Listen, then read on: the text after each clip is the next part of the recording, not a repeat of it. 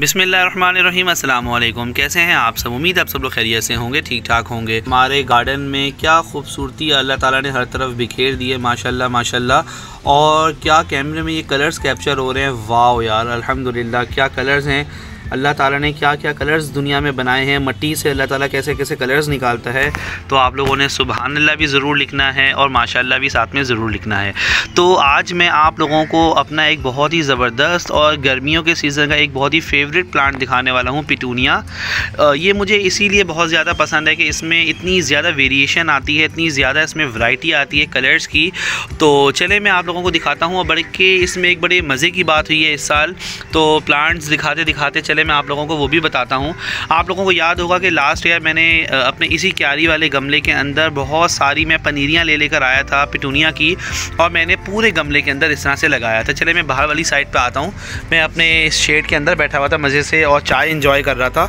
तो मैंने चाय पीते पीते सोचा चले आज आप लोगों को इस पिटूनिया की भी कुछ बातें बताते हैं। जो इस सीज़न में बड़ी एक मज़े की चीज़ हुई है मेरे साथ। तो चलें तो आप लोगों को याद होगा, मैंने पूरे गमले के अंदर आप लोगों को पिटूनिया ग्रो करके बताए थे। ग्रो क्या मतलब? जो मैं पनीरियाँ लेकर आया था, फिर उसकी केयर मैंने बहुत आप लोगों को बताई थी और वेरी लॉन्ग लॉन्ग सीज़न तक हमारे पिटूनियाज चले थे। अच्छा इस सीज़न में क्या हुआ कि मैंने ना इतफ़ाक़ ऐसा हुआ कि पूरा साल इस मट्टी को यूज़ ही नहीं किया। और मट्टी को ना कि सिर्फ़ मैंने यूज़ नहीं किया, बल्कि इसी गमले के अंदर वो पड़ी रही और एक दफ़ा मेरे ख्याल में मैंने कोई पालक के बीज इसमें लगाए थे आई थिंक तो लेकिन वो चिड़िया सारे चुपके ले गई थी बीज तो मट्टी मतलब है कि ये यूज़ में नहीं आई थी। समटाइम्स ऐसा होता था, लेकिन मैं एक चीज़ एक चीज़ मैं ज़रूर करता था कि मैं मट्टी को ऐसी बंजर नहीं छोड़ दिया करता था, जो कि आप लोग भी यही फॉलो किया करें। मट्टी को तकरीबन हफ़्ते में एक मरतबा या दो मरतबा हल्का सा मॉइस्ट ज़रूर कर दिया करें। इससे मट्टी हमारी जो है वो एक्टिव रहती है, वरना आपकी सॉइल बिल्कुल डीएक्टिव हो जाएगी। अच्छा तो अब हुआ ये था कि आप लोगों को याद होगा लास्ट ईयर जो मैंने पेटूनिया की वीडियोज़ डाली थी, जब एक दफ़ा वो फुल ब्लूम पे था तो वीडियो के ऊपर लिंक आ रहा होगा, आप लोग वो वीडियो भी देख लें। आई थिंक लास्ट रमज़ान था या रमज़ान शुरू होने से थोड़े दिन पहले, और रमज़ान में भी मैं पेटूनियाज़ की वीडियोज़ बहुत डाल रहा था। लास्ट ईयर 2021 में।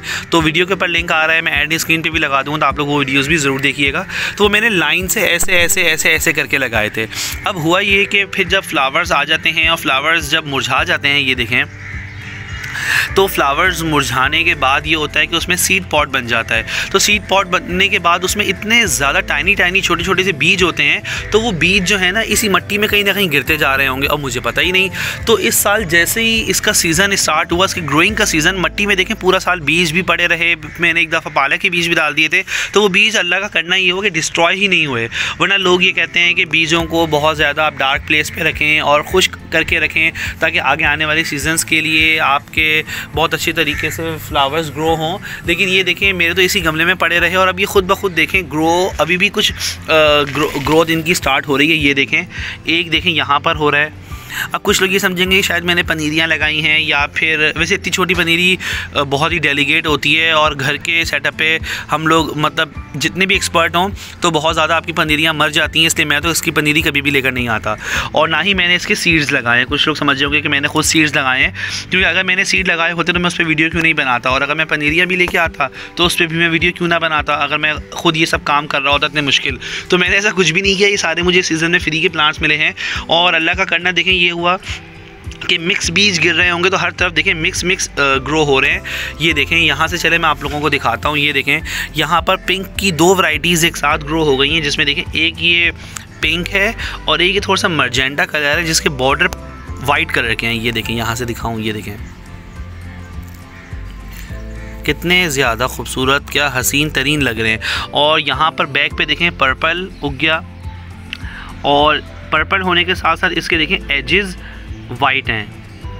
फिर यहाँ पर देखिए ये भी पर्पल है और यहाँ पर ये भी पर्पल है।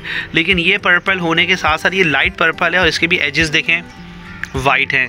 फिर यहाँ पर देखें हमारा ये पिंक ऐसा था, ये बिल्कुल मर्जेंटा डार्क कलर का देखें फ्लावर है और इसके देखें बॉर्डर्स वाइट हैं। फिर यहाँ पर ये देखें प्योर बिल्कुल वाइट कलर के फ्लावर्स खिले हुए ये देखें, कितने ज़्यादा खूबसूरत लग रहे हैं, माशाल्लाह। और इधर आ जाए, यहाँ पर भी देखें पिंक पर्पल सब मिक्स होके लगे हुए हैं और ये बिल्कुल एक गुलदस्ते की लुक दे रहा है। तो मैंने सोचा चलें चाय पीते पीते मेरे जहन में आया कि यार, चलें आप लोगों को मैं आज अपने पेटूनियाज़ दिखाता हूँ और आप लोगों को फिर मैं बताता हूँ कि इस दफ़ा मेरे पेटूनिया मेरे पास ग्रो कैसे हुए हैं। तो उम्मीद है आप लोगों को भी बड़ी इंटरेस्टिंग और मज़े की चीज़ लगी होगी। मैंने कहा अपना एक्सपीरियंस आप लोगों के साथ शेयर करूँ। तो ये थी मेरी आज की वीडियो आज के प्लांट की, पिटूनिया की उम्मीद आप लोगों को अच्छी ज़रूर लगी होगी। और अगर वीडियो अच्छी लगी हो तो वीडियो को लाइक ज़रूर कीजिएगा। चैनल सब्सक्राइब नहीं किया हुआ तो चैनल तो सब्सक्राइब जल्दी से कर लें।